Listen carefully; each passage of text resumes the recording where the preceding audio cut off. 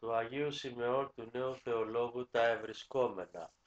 Λόγος 43 περί των αλλοιώσεων της ψυχής και του σώματος όπου ακολουθούν οι σημάς από τα στοιχεία, από τα φαγητά και από τους δαίμονας. Χρέος έχει κάθε χριστιανός όχι μόνο να στοχιάζεται και να εξεύρει τας αλλοιώσεις και μεταβολάς όπου γίνονται στην ψυχή, αμή να εξεύρει ακόμη και τας αιτίας; Του, ποιες είναι και από πού συμβαίνουν να γίνονται εις αυτόν, διότι μερικές φορές έρχεται έξαφνα χαρά στην ψυχή και μερικές φορές έρχεται εις αυτήν λύπη και βάρος φοδρών και πότε γίνεται ευκολοκατάνυκτος και πότε σκληρύνεται και γίνεται ως σαν πέτρας. Άλλοτε πάλι γίνεται ημερή και ταπεινή. Και ύστερα από λίγη ώρα υπερηφανεύεται και θυμώνεται και λυσά κατεπάνω όλων των αδελφών και άλλοτε γίνεται εγγελημένη και αμελής εις κάθε έργο αγαθών και άλλη φορά γίνεται προσεκτική και πρόθυμος εις κάθε υποταγή, ώστε και εκείνους όπου συναναστρέφονται με αυτήν τους εμποδίζει από τα κακά και τους παρακινεί στα καλά. Και άλλη φορά είναι φοβισμένη και ευλαβής και άλλη άφοβος και ανευλαβής. Και πάλι άλλη φορά ενθυμείται με αγάπη εκείνους όπου λείπουν και τους προσκαλεί στον εαυτό της και άλλη φορά δεν θέλει να ειδεί μήτε τους παρόντας. Και πότε στενοχωρείται και συμπνίγεται και βαρύνεται και αυτήν τη ζωή και πότε τόσα πολλά εφραίνεται και χαίρεται όπου δεν δύναται μήτε με βίαν μεγάλη να κρατήσει τον εαυτό της. Αυτά λοιπόν που είπαμε ακολουθεί να γίνονται φυσικά εις τας φυσικάς σκηνής της ψυχής και του σώματος. Οπότε αγωνιζόμεθα εις το να κάνουμε την αρετή και τα σεντολάς του Χριστού.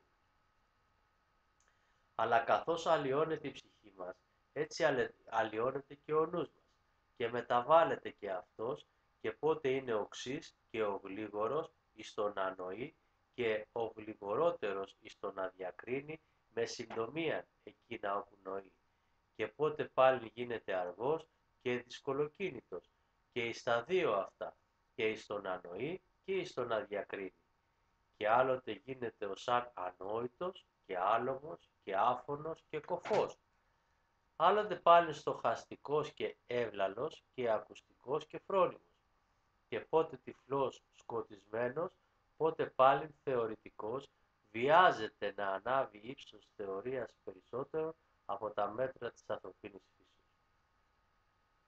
Και άλλοτε πάλι είναι απλούς και ελεύθερος εις κάθε θεωρία και δεν ενθυμείται τελείως τα κακά όπου έγιναν εμπρός του. Μην το στοχάζετε παντελώς κανένα από αυτά.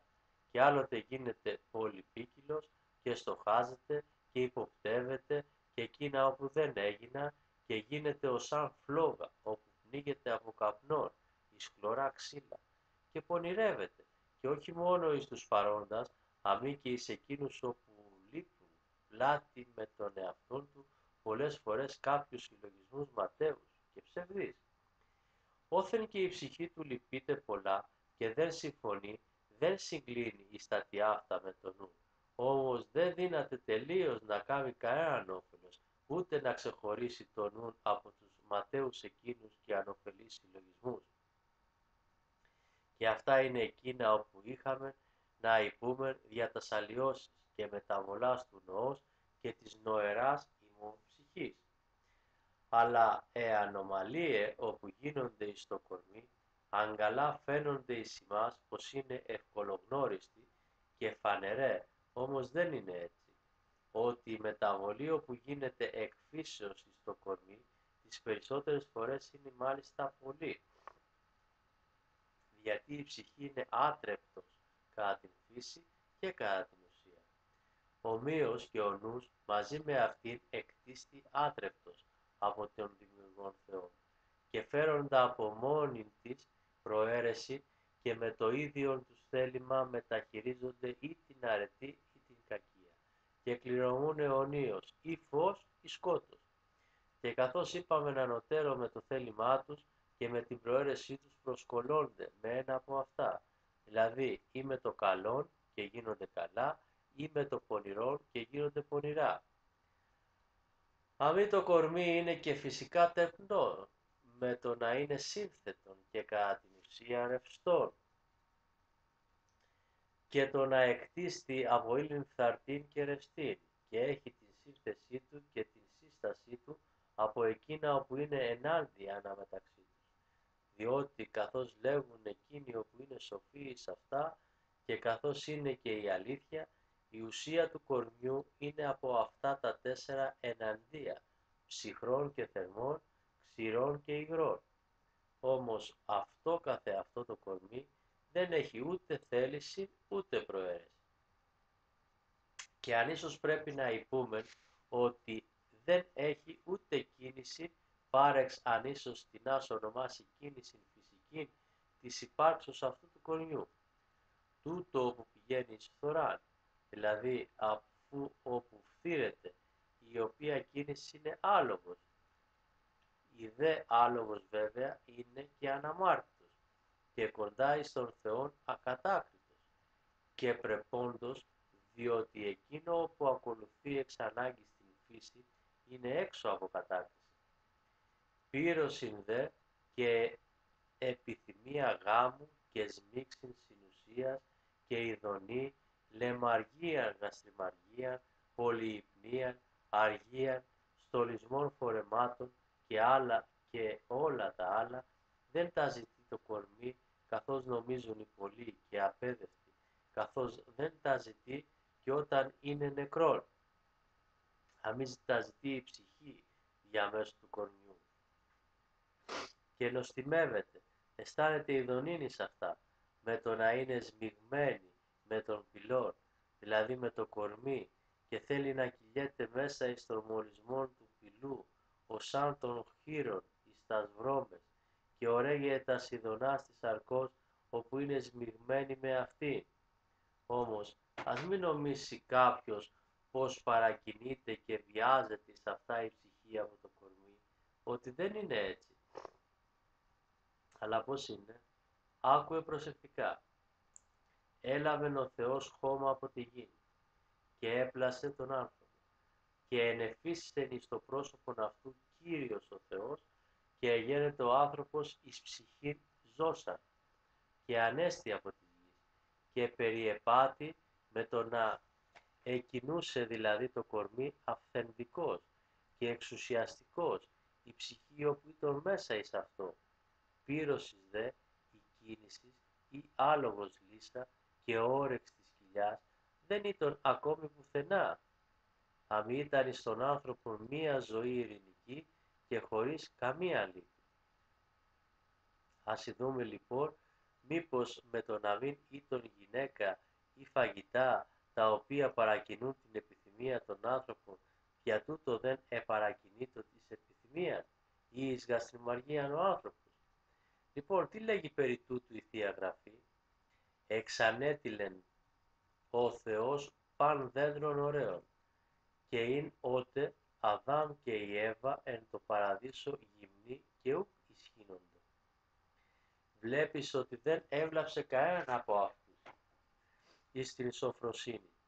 Μήτε διατί ήταν η Εύα γυναίκα, μήτε διατί ήταν και οι δύο τους γυμνοί. Αλλά και γυμνοί ήσαν και οι δύο και ούτε εγνώριζαν ένα τον άλλον, ούτε εντρέπονται, ούτε από την φύση του κορμιού τους επαρακινούντο εις μίξη. Αλλά ύστερα από την παράβαση, αφού ευγήκαν από τον παράδεισο και εγυμνώθηκαν από την χάρη του Θεού και εξέπεσαν από την θεία του δόξα, τότε καθώς είναι γραμμένο έγνω Αδάμ τη γυναίκα αυτού και συλλαβούσα έτεκε.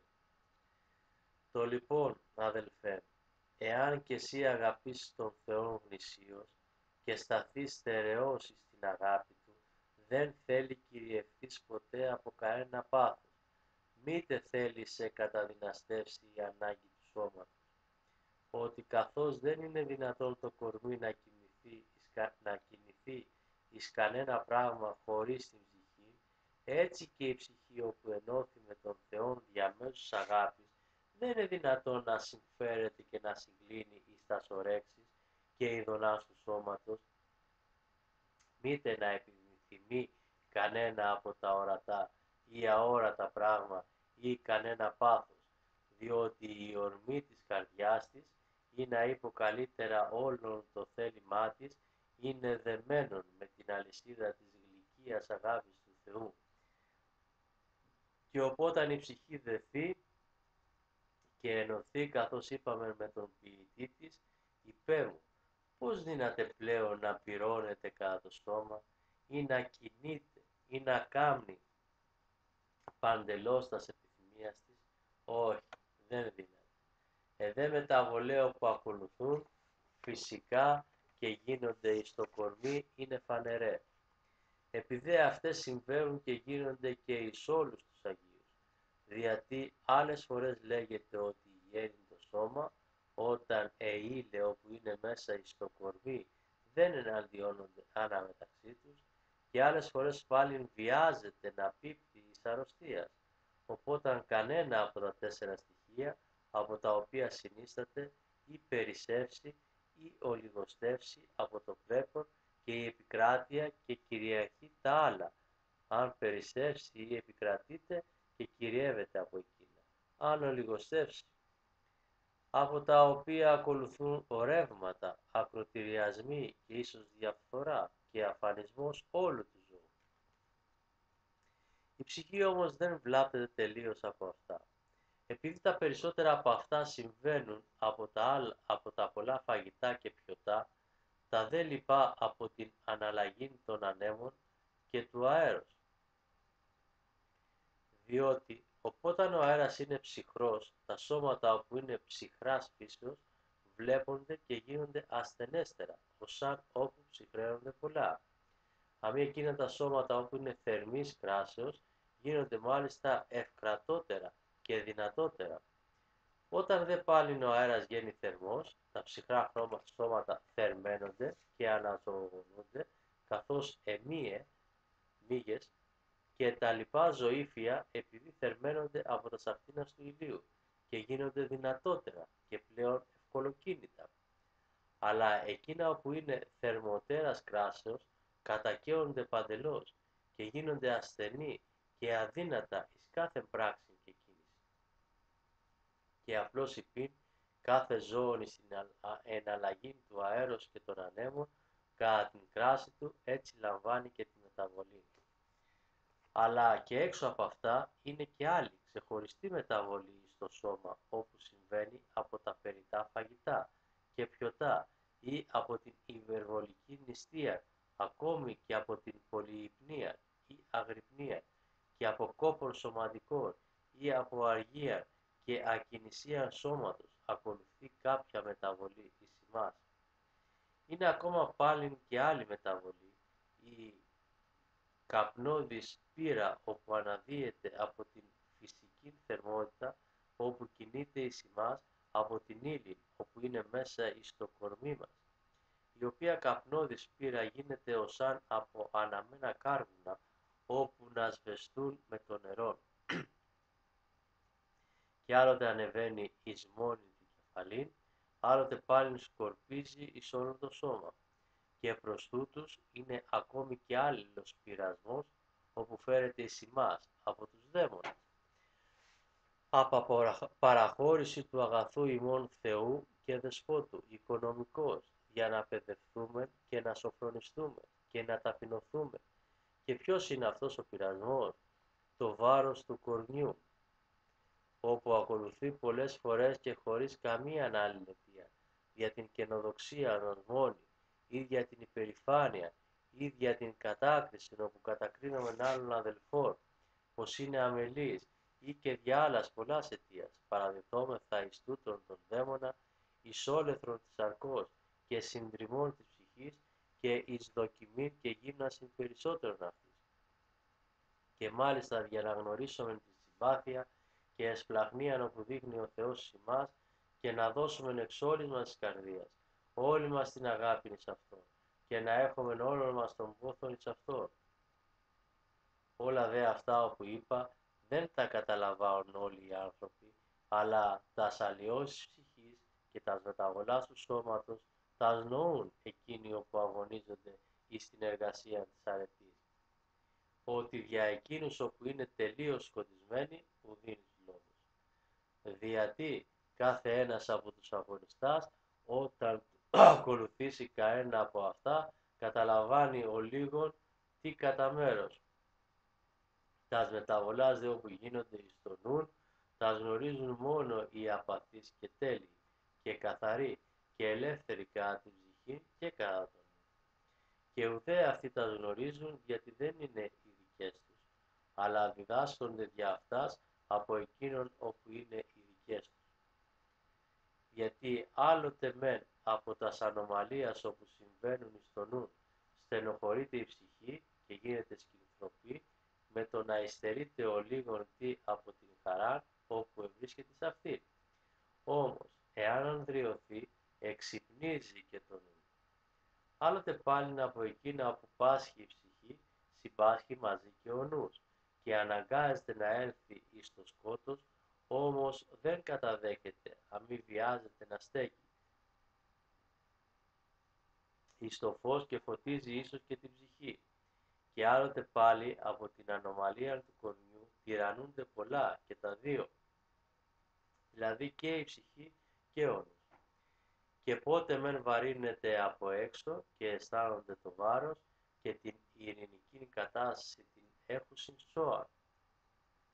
Πότε πάλι ταράτονται από μέσα και ενοχλούνται και αποδείχνεται τελείως εμπαθή, ώστε εκείνος όπου πάσχει μηδέν να ελπίζει πλέον πως θέλει έλθει πάλι στην προτέραν ειρηνική κατάσταση όπου είχε.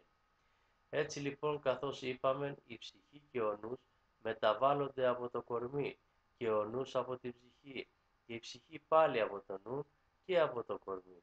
Όμως δεν ταράτονται πάντοτε και τα δύο, δηλαδή η ψυχή και ο νους. Αλλά πότε η ψυχή μόνη πάσχει από το κορμί και ο νους είναι απαθής και μένει στην φυσική του κατάσταση και παρηγορεί την ψυχή, πότε πάλι ο νους τυφλώνεται και σκοτίζεται και η ψυχή είναι ελεύθερη με τη δύναμη του Θείου Φωτός και διώχνει το σκότος και ασηκώνει τα σκεπάσματα και κάνει το νου να βλέπει και να διακρίνει. Για τούτο είπα αδελφοί μου πως δεν πρέπει μόνο να νοούμε και να γνωρίζουμε τα στροπάς και τας μεταβολάς και τα αλλοιώσεις όπου ακολουθούν εις εμάς, αλλά πρέπει να εξεύρουμε ακόμη και πόθεν έρχονται και με τι τρόπο γίνονται και από ποιες αιτίες και ποιοι άνεμοι λογισμών φυσούν και από ποιες αρχάς καταβαίνουν και έρχονται με ορμή οι ποταμοί των παθών και πειρασμών, για να στερεώνομεν καλά και το σπίτι της ψυχής και να κυβερνόμεν επιτίδια το τιμόνι του καραβιού και να μην το μαχαιριζόμεθα άτεχνα και ανεπιτίδια και αυτά όλα μας τα διδάσκει να τα γνωρίζουμε η ζωή όπου γίνεται αδιάκοπος με ακρίβεια και με κανόνα και όρο. Γιατί έχει χρέος κάθε ένας να βάλει όρο και τύπον στον εαυτό του και στην ζωή του και να εξεύρει τι λογής πρέπει να τον μεταχειρίζεται κάθε ημέρα για να τρέχει και εύκολα εις την εργασία των αρετών.